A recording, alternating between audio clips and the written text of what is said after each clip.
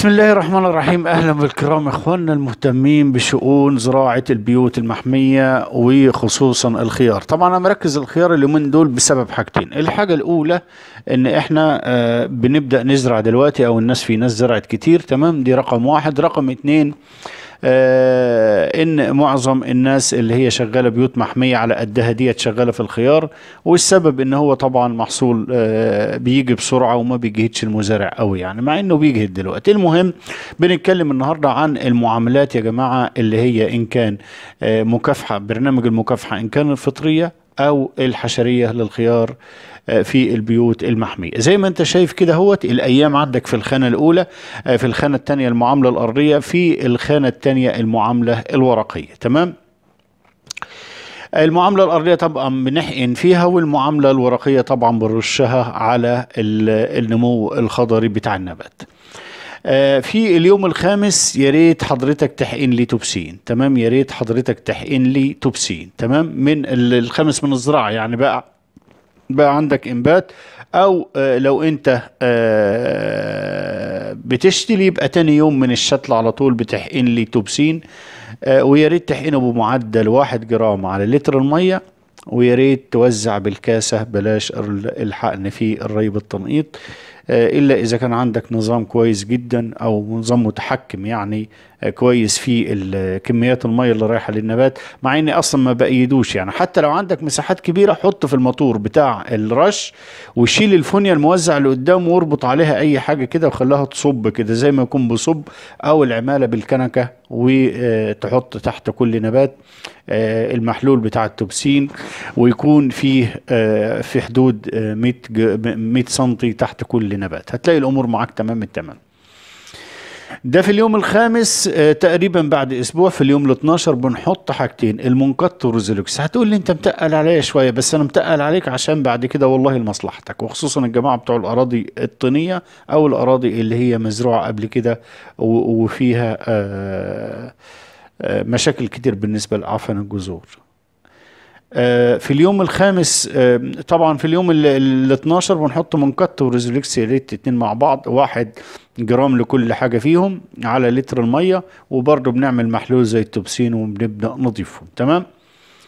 اليوم الخامس والعشرين بنحط تاشيجارين نص سنتي لكل لتر مية أو يونيفورم اللي متلاقيه فيهم ابدأ حطه وإن شاء الله آه بعد كده مش هتلاقي اطلاقا الأعفان. إذا آه، كانت التهوية عندك كويسة وإذا كان التحكم في ال- ال- المقنن المائي أو الري كويس مش هتلاقي أي حاجة عندك. تمام؟ آه بالإضافة لكده برضو تحاول تحط الملش لأن الملش بي بي اللي هو البلاستيك اللي بيبقى على التربة لأن ده برضو بخف معاك من الرطوبة كتيرة جدا جدا جدا. تمام؟ تاخد بالك من القصص دي. لو ما عندكش ملش حاول تخربش التربة على طول بحيث إن أنت عندك يبقى في تهوية دايمه للتربة والجدر ما إيه ما يحصلوش آه، تضاغط في التربة. تعال بقى على المعاملة الورقية. المعاملة الورقية بتتم على آه، اتنين نوعين من الأمراض. إن كان الأمراض الفيروسية والحشرية والأمراض الفطرية. تمام؟ طيب أنا في اليوم العاشر بالنسبة للزراعة لسه اللي هو الإنبات اللي زرع مباشر في الأرض. اليوم العاشر بحط لمبادة 50 سم لكل لتر لتر مية زائد أحماض أمينية بنحط. مع ملاحظة إنك لما بتضيف لتنك الرش بتحط الأحماض الأمينية الأول بمعدل واحد سنتي على لتر المية. ماشي؟ لو انت عندك برميل أو 100 لتر مية بتحط فيهم 100 سنتي أحماض أمينية وبتحط 50 سنتي لمبادة بعد الأحماض الأمينية. بعد ما بتقلب الأول الأحماض الأمينية في ال 100 لتر مية بتبدأ تحط اللمبادة وتبدأ تقلب كويس وترش إن شاء الله الأمور تبقى عندك تمام. ديت عشان لو في أي حشرات طبعا اليوم العاشر من الزراعة لسه ما فيش نمو خضري آه، كتير وبالتالي ما فيش أي مخابئ ممكن آه، تستخبى فيها الحشرة أو الكلام ده كله. آه اليوم ال ال 12 يا جماعة عايزين نرش رشة وقائية للأمراض الفطرية وليكن رشة خفيفة ما تكلفنيش كتير وفي نفس الوقت برضو الدنيا تبقى عندي كويسة ما يجيليش أي آه مشاكل من الأول تمام؟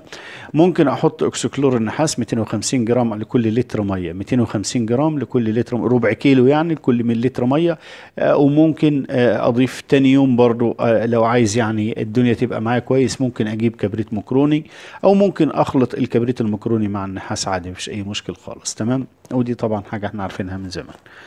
آه برضه 250 جرام لكل لتر مية. تمام؟ أو لو عايز الأفضل يبقى خلي ده لوحده وخلي ده لوحده مفيش أي مشكلة خالص. تمام؟ اليوم ال 14 هنرش رشة للساقبه الماصه وديت هتكون مكونة من حاجتين الفرتمك والكونفدور يا جماعة تمام؟ الفرتمك والكونفدور الفرتمك آه بيبقى بنص لتر بيبقى ب 50 سم لكل لتر مية لكل 100 لتر مية والكونفدور برضو بيبقى ب 50 سم لكل 100 لتر مية. وده الغرض منه إن أنا أقضي على الأكروس وأقضي على آه، أقضي على ال- الحشرات الثقيبه المصة الكونفدور هيمسحها الذبابه البيضاء مش هتشوفها. يبقى ده هو خاص بالأمراض الحشرية مش هتلاقي ولا فيروسية هتلاقي لو رشيت الفرتمك مظبوط مع الكونفدور أتحدى إن تجيلك ذبابه بيضاء أو تجيلك ثقيبه مصة أو كده. ليه؟ النبات عندك لسه صغير والدنيا كويسة خالص والمبيدين الاثنين مع بعض حاجة ولا أروع يعني تمام؟ اليوم ال 18 بالرش توبسين. خد بالك في شهر 10 أنا م... يعني أنا يعني السنة اللي فاتت مش كتير كنت في السعودية ظهر عندي البياض الزغبي والبياض الدقيقي والله في نفس البيت بل في نفس الخط. في نفس الخط بل في نفس الشجرة في نفس الشجرة ظاهر فيها بياض دقيقي وبياض اللي هي كانت جنب ال ال ال ال الحيطة بتاع جنب الفايبر جلاس على طول جنب ال ال الجدار بتاع البيت. على طول أول خط كان فيه بياض زغبي وبياض دقيقي ودي حاجة كانت جنان يعني. فبنرش من الأول توبسين عشان البياض الدقيقي آه وكوقائي برضو للأمراض الفطرية. تمام؟ اليوم ال11 بنرش الديسيز يا جماعة الدلتا مثرين المادة الفعالة اللي فيه. تمام؟ آه وطبعا الفرتمك فيه المادة الفعالة بتاعته الأبامكتين عارفينها. تمح 8 من 10 والكونفيدور طبعا فيه الاميدا كلوبرايد تقريبا. الديسيز الدلتا مثرين بقى ده بصراحة ممتاز جدا هو بتاع شركة باير بيترش طبعا بكميات بسيطة جدا 15 سم عن 100 لتر مية.